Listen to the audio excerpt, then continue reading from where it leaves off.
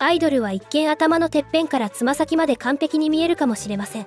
しかしだからといって彼女たちの多くが私たちと同じようにボディイメージの悩みを抱えていないわけではありません。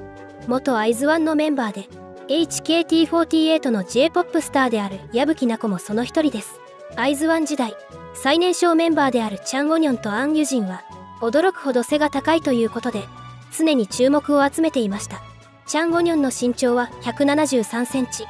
アン・ユジンの身長は172センチでした。しかしグループのメンバーの多くはもっと背が低くその中でも最も背が低かったのがナコです。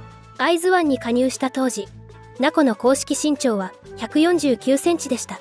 ウォニョンやユジンより20センチ以上低く韓国の平均的な女性と比べても14センチも低かったのです。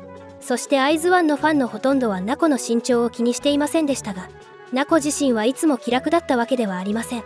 背が低いことを気にしていました。と彼女は説明し背の低い韓国のアイドルグループはあまりいませんでした。と付け足しました。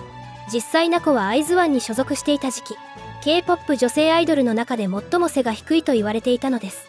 ナコはさらに身長が低いので踊っている時にグループのイメージに影響しないか心配だったと語っています。